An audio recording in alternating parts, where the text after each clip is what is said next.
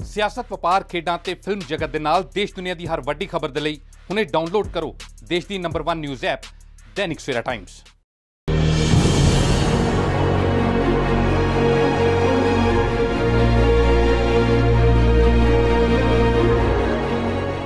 Bharat 'ਚ ਜਿੱਥੇ corona ਕਰਕੇ ਪੂਰੇ ਦੇਸ਼ 'ਚ ਲਾਕਡਾਊਨ ਲੱਗਾ ਹੋਇਆ ਹੈ ਤੇ ਸਾਰੇ ਕੰਮਕਾਰ ਬੰਦ ਪਏ ਨੇ, ਇਸ ਵਿਚਾਲੇ ਹੀ ਪੰਜਾਬ ਸਰਕਾਰ ਵੱਲੋਂ ਤੇਲ ਦੀਆਂ ਕੀਮਤਾਂ 'ਚ ਵਾਧਾ ਕਰ ਦਿੱਤਾ ਗਿਆ ਹੈ। ਸੂਬਾ ਸਰਕਾਰ ਨੇ ਪੈਟਰੋਲ ਤੇ ਡੀਜ਼ਲ ਦੀਆਂ ਕੀਮਤਾਂ 'ਚ 2 ਰੁਪਏ ਪ੍ਰਤੀ ਲੀਟਰ ਦਾ ਵਾਅਦਾ ਕੀਤਾ ਹੈ, ਜਿਸ ਕਾਰਨ ਲੋਕਾਂ 'ਚ ਕਾਫੀ ਰੋਸ ਪਾਇਆ ਜਾ ਰਿਹਾ ਹੈ। ਜੇ ਗੱਲ ਕਰੀਏ ਭਾਰਤ ਦੇ ਗਵਾਂਢੀ ਮੁਲਕ ਪਾਕਿਸਤਾਨ ਦੀ, ਤਾਂ ਉੱਥੇ ਪੈਟਰੋਲ ਤੇ ਡੀਜ਼ਲ ਦੀਆਂ ਕੀਮਤਾਂ 'ਚ ਭਾਰੀ ਗਿਰਾਵਟ ਵੇਖਣ ਨੂੰ ਮਿਲੀ ਹੈ। ਹਾਲਾਂਕਿ ਪਾਕਿਸਤਾਨ 'ਚ ਵੀ ਕਰੋਨਾ ਦੀ ਸਥਿਤੀ ਕਾਫੀ ਗੰਭੀਰ ਬਣੀ ਹੋਈ ਹੈ, ਪਰ ਇਸ ਦੇ ਬਾਵਜੂਦ ਪਾਕਿਸਤਾਨ 'ਚ ਤੇਲ ਦੀਆਂ ਕੀਮਤਾਂ 'ਚ ਭਾਰੀ ਗਿਰਾਵਟ ਆਉਣ ਨਾਲ ਲੋਕਾਂ ਨੂੰ ਇਸ ਲਾਕਡਾਊਨ 'ਚ ਕੁਝ ਰਾਹਤ ਮਿਲੀ ਹੈ।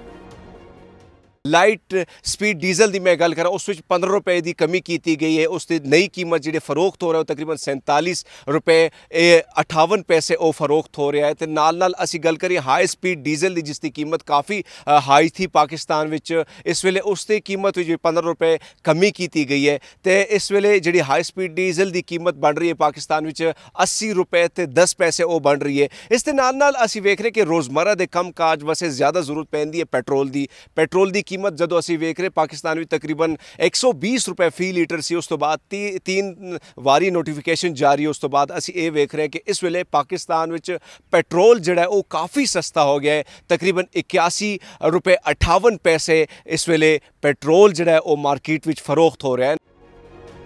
ਪਰ ਦੂਜੇ ਪਾਸੇ ਪੰਜਾਬ 'ਚ ਤੇਲ ਦੀਆਂ ਕੀਮਤਾਂ ਵੱਧ ਗਈਆਂ ਨੇ, ਜਿਸ ਕਾਰਨ ਲੋਕ ਸਰਕਾਰ ਤੋਂ ਕਾਫੀ ਨਾਖੁਸ਼ ਨਜ਼ਰ ਆ ਰਹੇ ਨੇ। Bureau report, Dainik Savera TV.